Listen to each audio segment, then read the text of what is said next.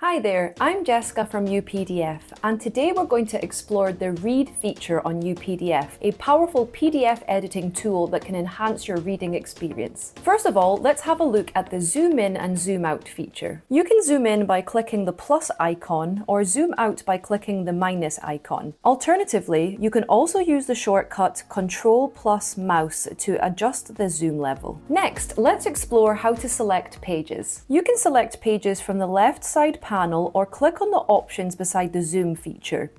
It's easy to choose the page you want to read. Moving on, the go back and forth feature allows you to navigate through your document very easily. For instance, you can click to page 14, then click page 5. Now you can use the go back and forth feature to navigate the two pages in just one click. Next, let's dive into the slideshow feature.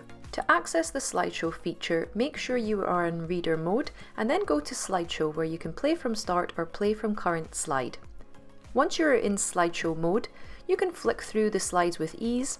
You can also edit using a laser pen, a pen or an eraser. You can select the mouse and you can also change to presenter view where you can have a different layout of how you see the slides.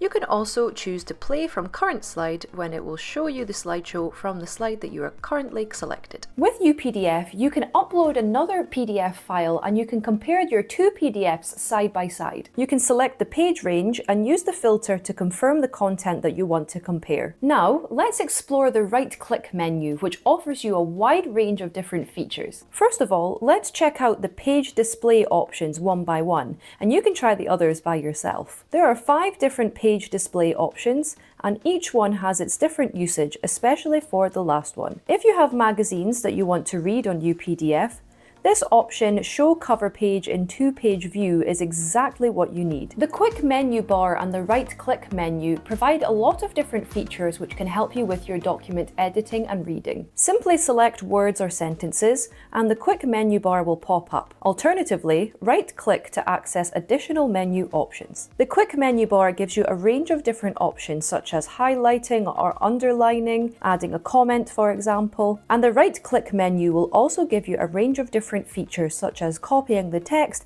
adding a bookmark, and so forth. UPDF AI enhances your PDF editing experience, and the comments list feature allows you to easily manage your comments and annotations on the document. You can also utilize bookmarks to help you navigate through your document efficiently. On Mac devices, you can easily look up words within your document to help you improve your reading comprehension. You can also easily change the background color on your iPhone to enhance your reading experience. In conclusion, UPDF provides a wide range of different features which can help to enhance your reading experience. Subscribe to our channel for more tutorials and give this video a like or send us a comment in the comments box below if you have any questions. And don't forget to download UPDF today so you can try out all of these amazing features for yourself.